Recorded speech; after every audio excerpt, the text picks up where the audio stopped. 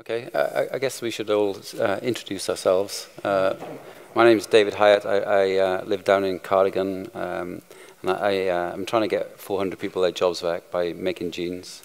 Uh, my town uh, used to have Britain's biggest jeans factory, um, and at the moment we've got 15 people working, so we've got a project called 385 try and get those people their jobs back. So that's what I do. Um, I run a thing called the Do Lectures, which happens in uh, West Wales last week, and California, and uh, Costa Rica, and Melbourne. So I do that in my spare time. So, but you, have just uh, introduced I've, yourself. I've myself, so. yeah. Hi, my name is Neil Condon. I'm a, a patent attorney. I work for the firm uh, EIP. So EIP is a law firm that specializes in intellectual property. And what do we do? Well, we protect our clients' innovation by preparing and filing patent applications for them and trademark applications and, and registered design applications. So I, EIP was a startup once. It started 15 years ago with one person. Uh, in that time period, it's, it's expanded. There's now 130 of us. We have offices in London, Cardiff, Bath and Leeds in the UK and in Dusseldorf in Germany. And recently we're very proud to have opened an office in San Diego in, in the US. Uh, and as well as having the type of people, the type of lawyers that obtain IP rights for you, we also have IP solicitors who can help out if it comes time, unfortunately, to enforce your, your IP rights. Myself, I'm a patent attorney and I specialize in electronics and physics inventions and spend a lot of my time thinking about mobile phones and how they work and how I can protect them. Thanks, Neil. Uh, my name is Martin Brassell. I'm the chief executive of a company called Inngot, which is based in Swansea. Uh, we are also involved in the intellectual property space, but a slightly different part of it. We focus on commercial services. So what we do is to help businesses to identify, to manage, and also to value the intellectual assets that they've got. And uh, my other claim to fame or notoriety, if you like, is we have a particular interest in finance. How you actually leverage these kind of assets to be able to get investors or lenders or other nice people with money to take you more seriously. Um, so if you fancy a bit of light reading, uh, give me a card later and I will send you through the PDF link to this wonderful tome uh, published by Beers and the Intellectual Property Office a little while ago called Banking on IP, which is the first time that this subject has really been thoroughly examined. And uh, money is usually of interest to people, I find, on these occasions, so do let me know. And it's, it's much more digestible when it comes in a PDF. Uh, my name's Dan. Um, I specialise in startups. Um, founded the Genie Lab, um, Blurt, and also a new project called Digital Profile, um, and building teams and securing investment. Okay. Um, okay. I mean, I, I, just found out like a minute ago that I'm chair, chairing this. I don't actually know what a chairman does, but I kind of like I think if we try and encourage everyone to uh, ask some uh, questions, that would be probably a good idea. But uh, I guess um, for me, um, like the most innovative day of, uh, you know, in the, you know, the denim life was 140 years ago when uh, Mr. Strauss and Mr. Davis came up with uh, and patented a riveted you know, five pocket Western jeans. So actually there hasn't been much innovation in jeans you know, for 140 years, so that I'm really interested in that. Um, the thing I, um, I'm interested in is uh, ideas, and actually I do, I do genuinely believe ideas you know, can change things faster and cheaper than ever before. Um, uh, the, the question for me then is uh, actually some of the best ideas are really awkward. Do you mean, and actually we don't like them at first. And so my question to the, to the panel is like, how do we um, innovate when actually sometimes they're born ugly and they become beautiful halfway through the life and um, and I guess that's the job of the entrepreneur to push on those things. So how do we not kill uh, those beautiful ideas um, at an early stage? Uh, because uh, there's some great examples of you know, post-it notes that you know, you know, got killed like uh, at an early stage because somebody was really smart and said that would never work. So uh, that, that's, that's a question. Let's just open this up and say, how do we stop killing like dumb, crazy ideas that look dumb at the beginning and turn out beautiful at the end? Uh, well, from my point of view, and in starting startups, um, created, I've created some service ones, but the newest one, which is my digital profile, is quite a disruptive product. Um, and you could say that what I'm going to disrupt could be um, could annoy, piss off quite a lot of people. Um, and people advise me some some of these people might be your friends, you know, and you have to get past that and see it just as a business opportunity and push it forward um, and think big. Um, take it to a place where uh, these guys, you know, go above them, go beyond them, uh, use use what they're doing wrong to your rights and, and push it forward. That's from my point of view. Hmm. Cool. Um, i found some great quotes on the internet the other day about this, and unfortunately I can't remember a single one of them, apart from the fact that um, one of them came from Einstein, and it seemed to be uh, that if an idea isn't crazy, then it's probably not a very good one, um, which is heavily paraphrased. Um, I, I think timing is really important yes. in this, yeah. in terms of what else is going on around you. And I, I think probably just, just taking a very personal example in terms of when we first established Ingot, we were putting services relating to intellectual property on the web. Nobody else is doing that. And in fact, there's still not very many people doing it. Um, but sometimes an idea has to, uh, it, the, the, times have to come to the idea, yeah, almost yeah. as much as the idea bending with the times. Yeah. So uh, it's, a, it's a genuine conundrum, that one. but I, I, think it's about, if, if you're picking up something that um, has other resonance within the kind of I don't know, without sounding overly pretentious, sort of zeitgeist, then I think that's a big thing.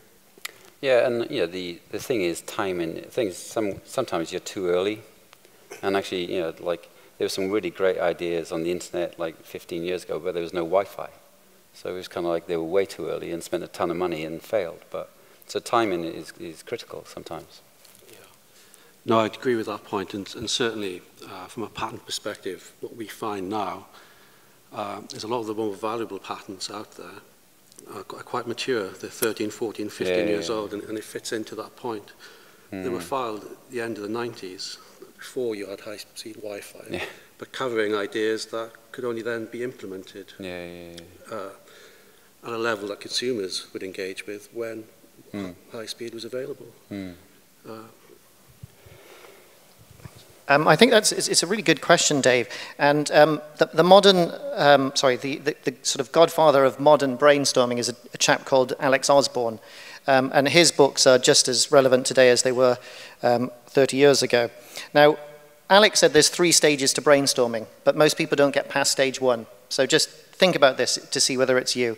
Um, Stage one of brainstorming is where you come up with all the obvious ideas. It's the ones that are credible. It's the ones that you think you can take, take forward.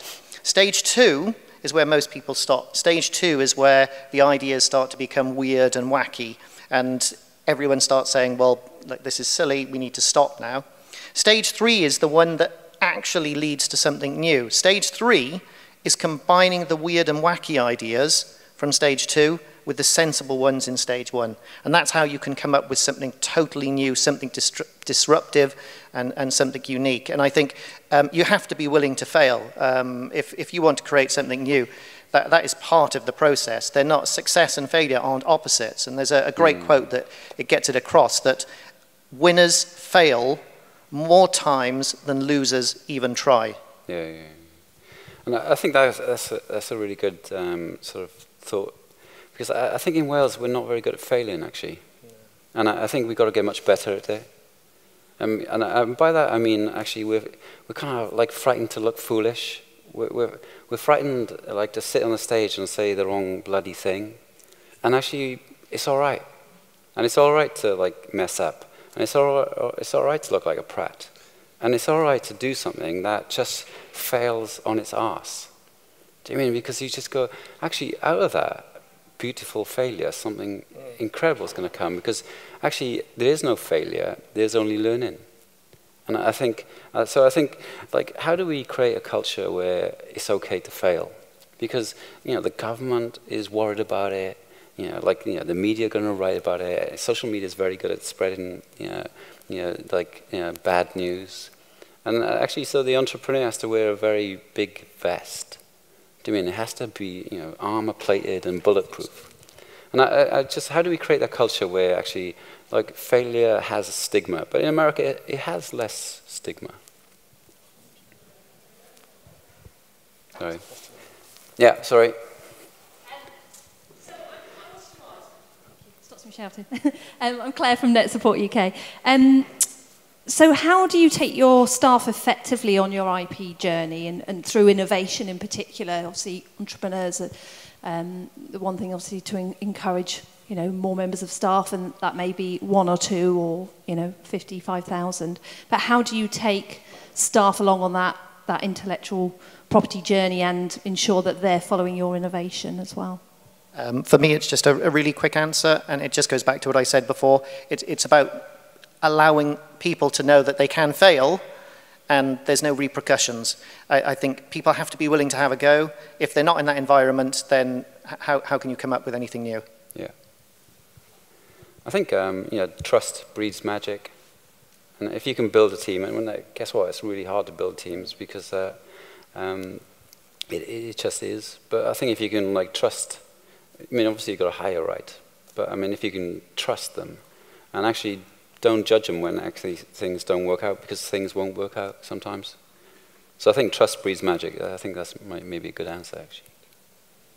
I think education is important as well, and like amazingly, we, we still come across companies that think they don't own any IP, that they don't do anything that generates IP, uh, when in fact most companies do.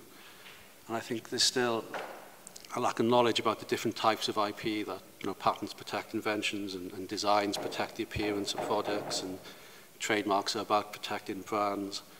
Uh, copyright protects artistic work.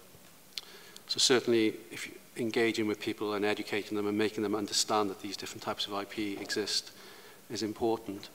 And also from a, particular on, on a patent perspective, quite often you find that people overestimate the degree of inventiveness that you need to come up with an idea that, that's patentable. Uh, and engineers are very much like that. They solve a problem. It might be a very long-standing problem, uh, a problem worth solving, but they, they can dismiss it and say, oh, it's easy. Anybody could have done that. You know, that can't possibly be patentable. When in fact, it very well might be patentable. Mm. Uh, and many people have lost rights by doing something good and then assuming it, it's not protectable when it is.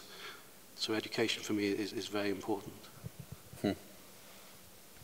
I'm not sure if it's 100% true, but I like the story that I got told the other day by somebody from Google which was that if you join Google as a programmer, you get access on day one to the entire code base of everything that Google's doing, which is really bringing out, if it's true, your trust point in space. Yeah, yeah. Because they're not aware of any, any other organization that deals in computer software anywhere that will put that level of trust in a new employee.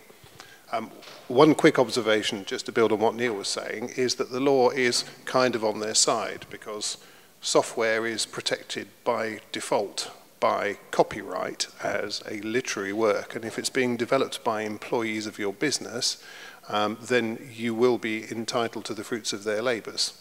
Uh, at least that's the, that's the um, underlying fundamental position. So that's a helpful thing for you to know and probably for them to know as well.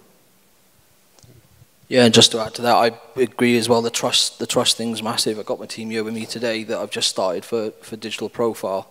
Um, hi team, um, and I, I I give these guys the freedom to go and think in a room. I think I think your talk earlier on was absolutely right. Sometimes just switching off and putting the computer down, going in a room and getting out from from the mess of code what we deal with and letting them breathe and think is sometimes where the best ideas come from. Um, and what I say to my guys is throw the rule books out the window. We're trying to think new, trying to think big, try and do something different. And just because it's done something done one way by bigger companies doesn't mean it's the right way. Go and create something new, think about new, think about a different solution. So that's why we, we try and approach things differently. Hmm. I mean, uh, the other thing about ideas that we don't talk about uh, so often is actually the importance of execution. Mm. Like, like, um, like thing, you know, talking about the iPhone is like they executed insanely well. I mean, you know, everything from the glass to you know, you know building the hub. So, yeah, uh, uh, how do we, you know, we, we, we have respect for ideas. Uh, I think that's that's pretty universal. Um, but as important as ideas is like how they're executed. And you know, from, you know, obviously from a patent, I mean, that's, that's slightly different because I'm talking about like the aesthetics of, like you were saying about how you set uh, your marina up, is you're thinking about everything that they, they're doing from how they have a coffee to if they don't you know, stay fit, they're not thinking, do you mean? So, so creating the space, having the idea is one thing, but execution is incredibly important. I mean, how do we become, uh, how do we become better executors? Uh, well, there's a question at the back, which I'll just, uh, from my point of view on that, um, again, I, what I found is that if you don't have the right team, it is hard to execute. Um, from creating something that was just generally from a startup where we survived for 50p trying to get something to work for months yeah. um, to now in the position where I've got a large pot of funding and I can I can get the team that I need. Uh, there's two different circumstances that you're in there and mm. you have to um, you have to be able to one trust in your guys. I think that comes back to the point, mm. but uh, when you're starting something completely from scratch, um, it is difficult to even like I didn't have the skills, the raw skills at first. So yeah. uh, my my thing was that I had to pay a student with a bottle of vodka to teach me how to do something to start off with, and it worked, and it got me where yeah. I was, and that's why I'm sat here now for a bottle of vodka. So it, it, things things some things do work out. Yeah, yeah, yeah. great. Hi, can you hear me? Oh, there you go. Um, quick question. So my co-founders and I have uh, had conversations about uh, when do you want to go down the protecting your IP route? Because there's a, you know, there's a, there's an overall uh, sort of thing out there that you've got to be a Google or an Amazon or somebody to to be able to go through the process. Because ultimately, you've got to have deep pockets if you ever want to protect yourself against something. So for a, for a small or medium-sized business, how do you go through the thought process about saying, yes, this is something that we need to protect? Uh, how do you kind of make that happen for a, for a smaller business? Oh, sorry. You, you, no, why don't you, no, go, you first. go first. No, you, go first. well, I think from a, from a patent, you know, dealing with patents first, I mean, it's absolutely essential that you do make that decision before you make your invention public. Uh, otherwise, you can preclude the, the possibility of having a, a valid patent uh, for that idea if you've actually told people about it publicly before, before the patent application is, is filed. Uh, again, the point when you decide to file, it's, it's, it's a difficult one. Filing early can be too difficult as well. It's a bad idea to file an application before the idea has been thought out properly, uh, particularly if it can't be implemented yet. But I think and again, with startups, what they find is that you know, their direction can change quite quickly.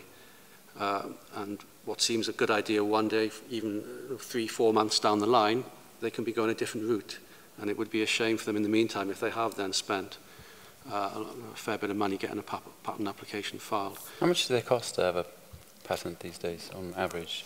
I know they're yeah, different. It, it, I mean, it varies okay. on technology to technology, okay. uh, but I mean, roughly speaking, to have a, a patent attorney prepare and file yeah. a UK application yeah. for you, you'd be looking at around five thousand pounds upwards. Not, not crazy then.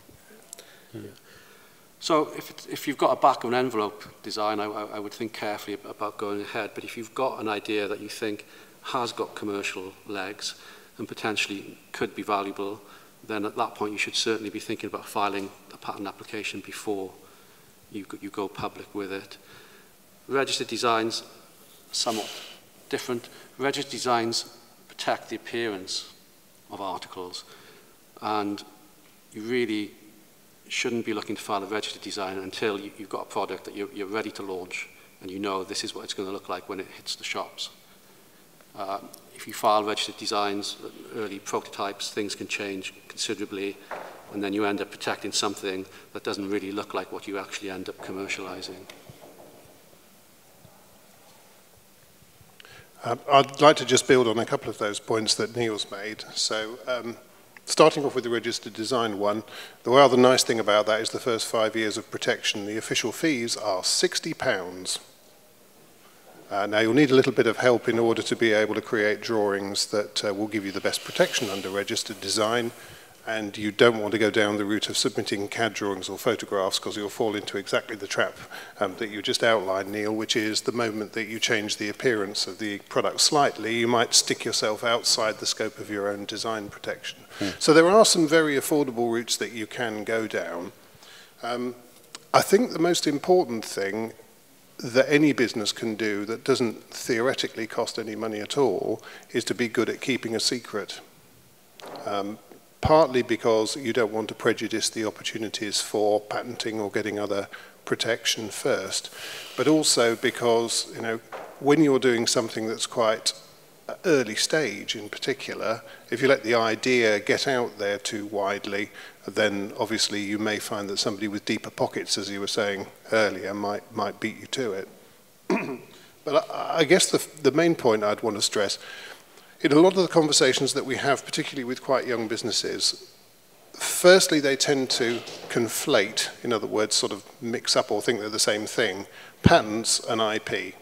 An IP is a much, much broader family than patents, which is important to understand. Because then the conversation otherwise goes on to, well, there's no point in me going down the patenting route because I can't afford to protect it. And it's a very real concern that obviously you could come across people who have very deep pockets and they can be quite hard to come up against. But to me, the analogy I'd make is if you decide consciously not to go down the route of any IP protection because you don't think you can afford the legal costs, it's a little bit like saying, well, it's 25 degrees below out there. Uh, I've got a coat with me, but it's a bit thin and it probably won't be warm enough, so I think I'll just go outside in my t-shirt. You know, what, what you're doing is you're saying, I'm consciously choosing not to have any protection or any bargaining chip in this at all. And to me, even if you're not certain that the protection that you've got is going to be sufficient to be able to cover all possible eventualities, the key thing that it still gives you is it gives you a bargaining chip. It gives you something to be able to potentially negotiate with somebody else who may be doing something overlapping. So I, I, would urge you not to regard the potential large costs of legal action, which you know, can be pretty big, uh, to put you off the idea of starting out on the IP journey, because I think, frankly, it's, it's a poor excuse. Hmm. Um, actually, I've got a question for you guys, since you're the experts in IP. Um, um, So um, in terms of what I do is more software based um, and what I've always been told is protecting stuff in the UK is very different to the US. Um, and basically there are a lot more kind of, there's less things you can do to protect your code um, or what you're building. Can you explain a little more what is available from a kind of a software point of view of what is available out there in the UK? Sure. I mean, again, this is a point that's come up for me several times today in, in conversations downstairs, but people, and a lot of people still have the assumption that software per se just isn't patentable in the UK. Uh, and, that's not true, and it, it's never been true. Uh, it's just that certain types of software isn't patent protect, protectable in the UK. And the type of software that is patent protectable in the UK is the software that provides some type of, what the Patent Office call it, a technical effect. So to give a very obvious example, if you have a, a, you know, a computer machine that's programmed to control a piece of machinery and it, it makes that machinery work in a, in, a, in a particularly efficient way, like a novel and inventive way, you know, that's clearly technical. And from a patent perspective, the fact that really it's being implemented by software is, is neither here nor there. Another example would be in image processing. So you take a signal, it could be representing a photograph, could be noisy. You process it, you run it through an algorithm to re remove that noise, and you end up with a better photograph at the end of it. If that algorithm is new and, and inventive compared to what's known at the time, then in, in as far as that algorithm is protected to image processing software, then it, it's protect, protectable. But where you do run into difficulty is with purely business software and administrative software, where it's kind of a numbers in and a numbers out, with just a bit of maths being, being performed. Uh, so something like calculated a pension scheme or, or, or like that.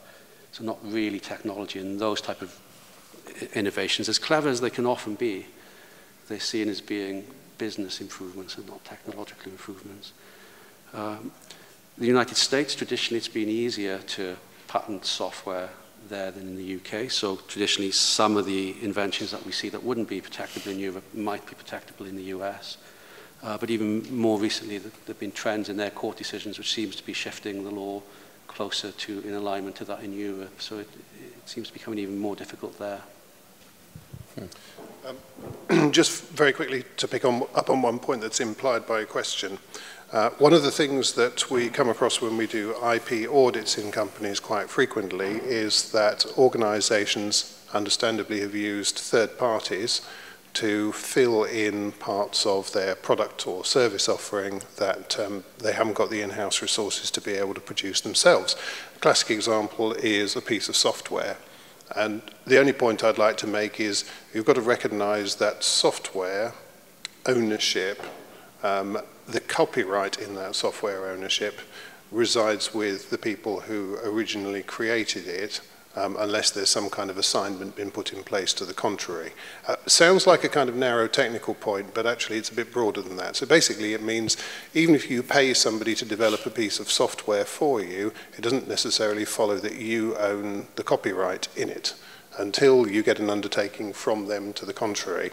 And I would strongly advise people to think about that um, it's not usually a difficult thing to negotiate, um, but it is important because come the glorious day when somebody walks through the door with a large blank check to buy your business, when they start going through the due diligence, one of the things they'll be asking is, how much of this stuff do you actually own?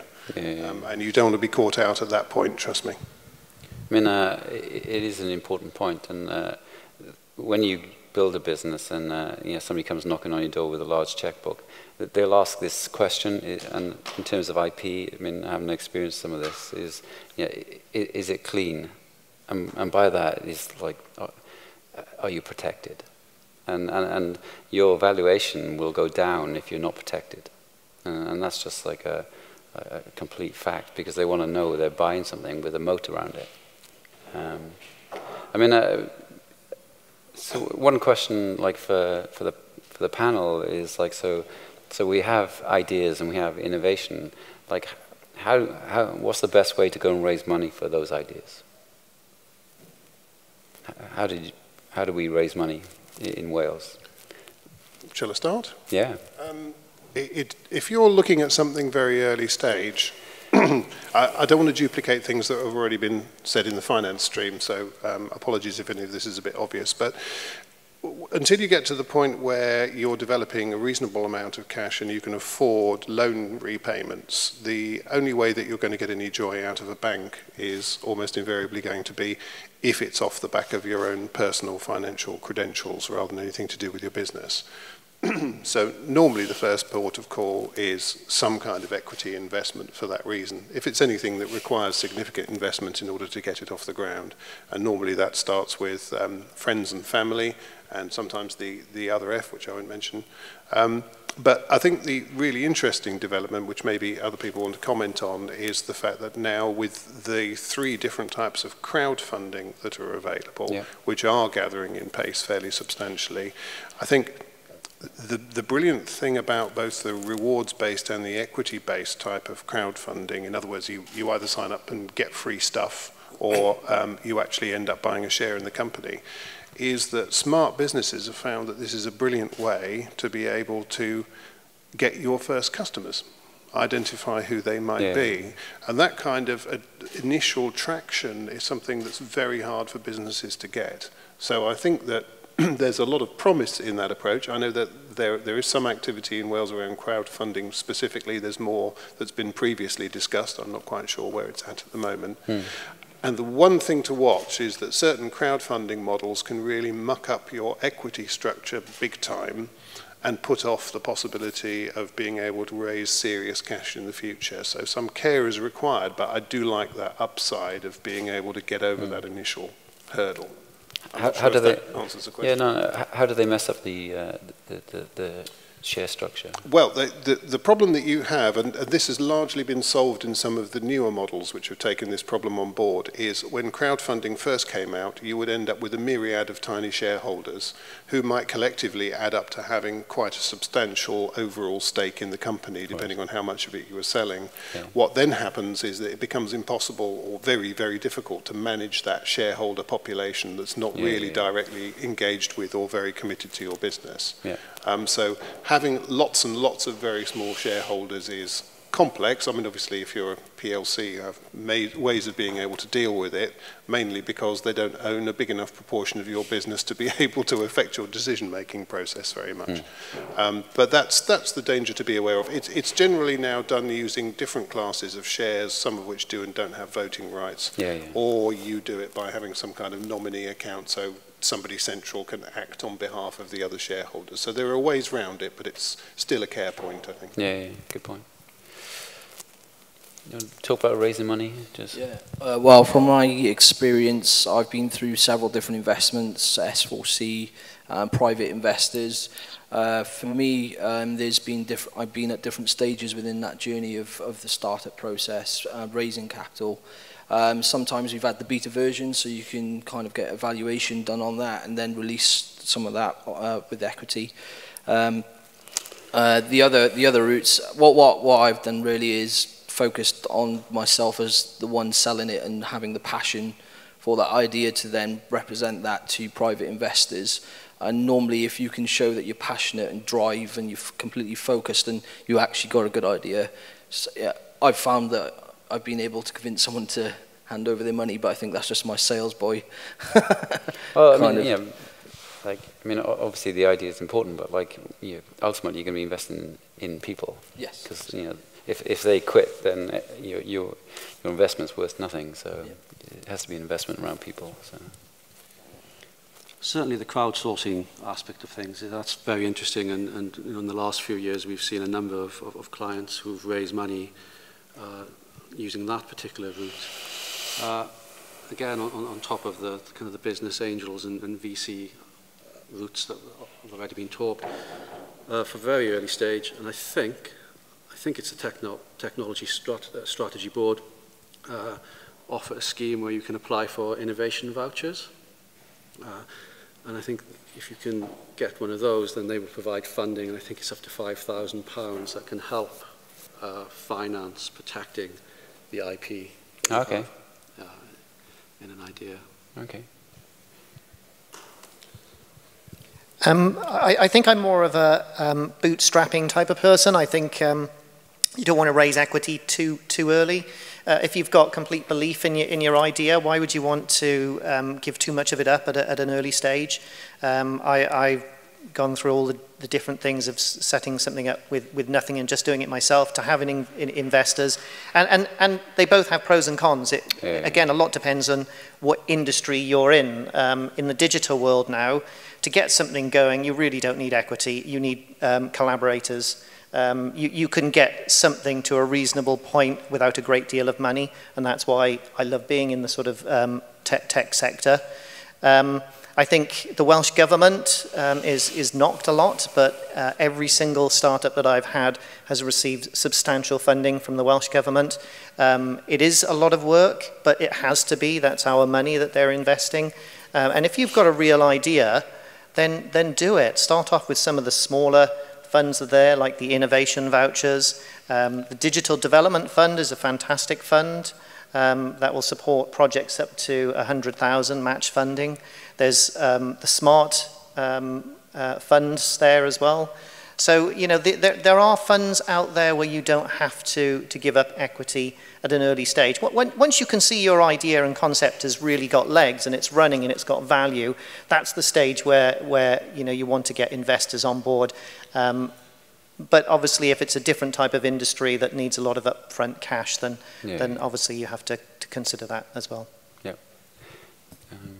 The, um, I, guess the, you know, that thing of you know, the most expensive equity you can give away is at the beginning because ultimately you have no track record, you, you have no data to say that this is going to fly. So um, if you can bootstrap it, you know, there's an art to bootstrapping, and uh, it does certainly, if you can get through the first three years and, and uh, keep most of the equity yourself, then, you know, then, you know, then you can give, you know, people shares when um, they have to pay much more for them. So that the, you know, there's a case for bootstrapping. There's also a case for sometimes if you have an idea, you have to be able to go and land grab as quickly as you can because somebody else with deeper pockets will get there. And you know, so some sometimes, especially in tech, I guess, um, you know, the speed of getting getting there first is. Um, uh, really important. Like, who cares if there's a better Instagram than Instagram, because they've they've land grabbed. Um, so, um, is there any more questions on from the audience? Um, anybody wants desperately to ask something to the panel? Any hands anywhere? Um, okay. Um, I think, um, yeah, so we've covered a little bit of money and stuff. I mean, I, I don't know a, a, ton about intellectual property, um, but I, I, mean, I, I did uh, uh, James Dyson's uh, brand book for, for, some reason. He asked me to do that, and um, I know that he was protected, um, but he still had a big fight with um, Hoover because they just literally went and ripped his idea off. I mean, like, you know, they didn't have any problem sleeping at night. Do you mean they just went wholesale, just copied it? Um, and you know, the, the, point earlier about like somebody's going to go and copy you with deep pockets, but like actually, if you're, you know, even with deep pocket pockets, actually, like James Dyson um, still fought Hoover and won because he was protected. And, uh, and, and uh, uh, you know, the argument of, you know, it's going to cost you a lot of money to um, uh, get, get protection it is a bit nonsensical because you're going to go and spend 20 years building something. And, and if, you don't, if you're not protected, you have no value. So I think you should always get protection. Do you mean um, as much as you can? I think that's completely correct. And I mean, I think you don't want to end up in patent litigation. It's a terrible place to be. Uh, it's expensive uh, and you require a whole lot of cash to be able to do it, which, yeah, which by that point in his business development, Dyson could do. Uh, yeah, but he still, he was very, I mean, he was very open about it. He was very, he was on the brink, one day away from like going under. Yeah, so it's, it's, I mean, if you're involved, well, one of the primary reasons for being involved in patent litigation, it's, it's bet the farm. You're doing yeah, it because yeah, you have to do it, and if you don't, yeah. Uh, you're going under. Uh, but the traditional view of, of, of getting patents uh, with a view then to enforcing them it, it is slightly old-fashioned. And I, mm. you know, I urge clients, don't think of patents in, in, in that, in yeah, that light. Yeah, You know, they're, they're assets, they, they can be bought, they can be sold, they add value, you can license them. Yeah. Uh, you know, you've got the patent box, so if you, in the UK, if you have a UK patent or a European patent uh, that, that covers a product, then you can get reduced corporation tax on worldwide okay. sales. I mean, there are lots of reasons why okay. patents add value to your business and encourage people to invest in it. Mm. And, and, and those are the reasons for doing it. And maybe one day, having done that and had investment, you will find yourself in a position where you've got deep enough pockets mm. to defend yourself. Yeah. Yeah, and um, beyond the investment point, which is an important one, um, there's two or three other stats that you might find interesting. Um, last week there was a, a, report brought out by the Federation of Small Businesses who'd done a survey around IP, um, which is the first time in a while I think they've looked at the subject. And they concluded that of their sample, they had 30% of businesses who knew that they did own some IP, and their estimate was that 75% or more of their revenue was wholly dependent on that IP. So in many modern businesses, IP is the key driver of income. So that makes it sound pretty important. Um, it's also very clear from the statistics that uh, we can see that get gathered regularly by ONS that nowadays intangible assets as a whole, including intellectual property, is the thing that companies now spend more money on than anything else. I mean, and the difference is now very, very marked. So uh, back in the 1990s, there was a tipping point where companies started to spend more on what you might collectively think of as being knowledge assets than they did on hard fixed assets like plant machinery and so forth. And that trend continues to escalate, and it survived the recession a lot better than the spending on fixed assets as well. So it's how you earn your money. It's also what you spend your money on. And perhaps the most compelling thing of all is it's what is going to dictate ultimately what your business is going to be worth. And um, a little bit of evidence of that. It's easiest to see with quoted companies. This is the extent to which the knowledge economy is now taking over. So back in 1975, if you were to look at the S&P 500, 500 of the biggest and most influential companies in America, you would find that 80% of their market value was based directly on hard things that were on their balance sheet. If you do the same test now, obviously with different companies, the total amount is 16%. So the 80-20 rule has got completely reversed in that time. That's the level of dependency that the world's most successful companies, or many of them, now have on intellectual property and other types of intangible assets. So um, if you thought it didn't apply to you, um, chances are it does. Uh, in fact, the, the, the, best quote I heard recently on this was, um, it was quoted by a chap from the Intellectual Property Office. I'm not entirely sure where he got it from, although he assures me it's genuine. And he attended a presentation where somebody said, if you are selling just on price, you are now dead in the water.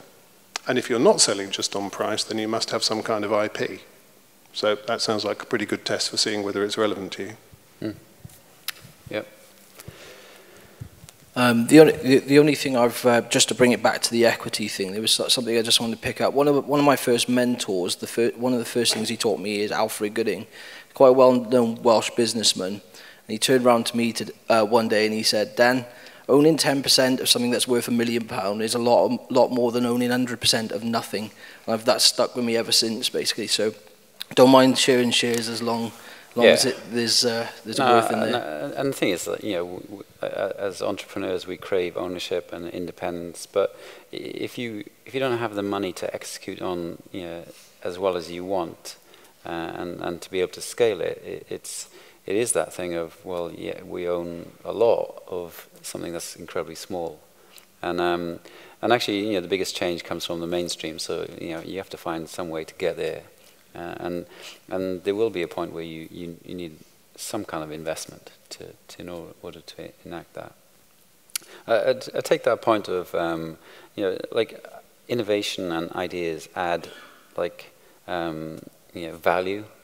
And the thing is, if you're, if you're not innovating, then you have to follow. And following is a really hard game. And, uh, and, um, and uh, we, we live in this world now where actually, you know, we, can go set, set up, you know, uh, amazing spaces for companies to go and create because you know, um, you know, like one in ten of them is going to win. Um, there's, a, there's a great school in uh, Silicon Valley called Y Combinator. I mean, how many people know about Y Combinator? It's pretty, um, it's been pretty successful and it's, it's changing now with startup schools are, doing it in America. And they've started things called like, like Dropbox and Airbnb and a bunch of others. And it's a school that um, they pay you to go to but they take a share in your company, and they take 7% stake in your, your company. They, take, they pay you $18,000 to go. And it's two terms. They have a spring term and an autumn term, and 60, 60 new companies go there. So, and I think that's, you know, you know I guess that's what, you know, you, are doing you know, down on the marina is that we've got to create that innovations um, culture because uh, following's like hard, like, and you're gonna have to be cheaper. And if you're going to be cheaper, like, pff, man, that's a tough game. I mean, the reason the jeans, the old jeans factory, you know, sort of closed and 400 people lost their jobs was they fought the battle of who could be the cheapest, and, and it wasn't Cardigan, it was China. And and you go, you know, once you once you're picking the wrong fight, you know, you, you kind of you're in trouble really.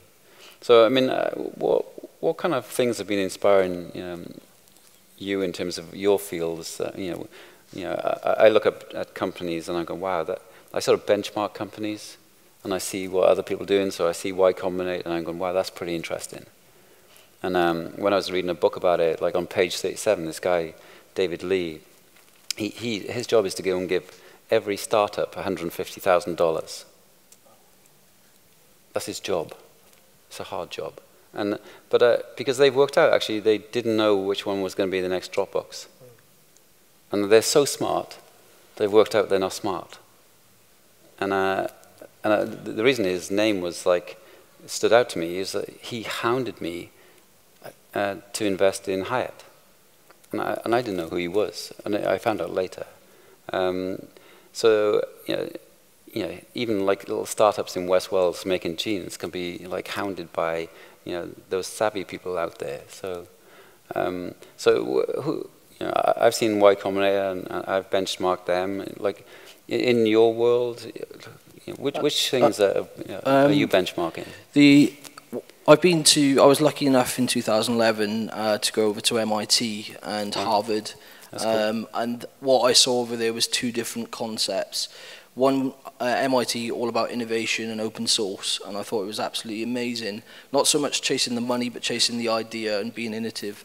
Yeah. Um, when I went to Harvard and experienced that side of it, it was about commercialization of a product and how they invest in new startups and the talent that go to that those schools and put them in, in their what what was the, the new media lab at the time and push them forward and, and basically try and get back something back for the university as well. All that money would go back um, into the university to reinvest into new ideas, and that's like the likes of Facebook was in Harvard and so on.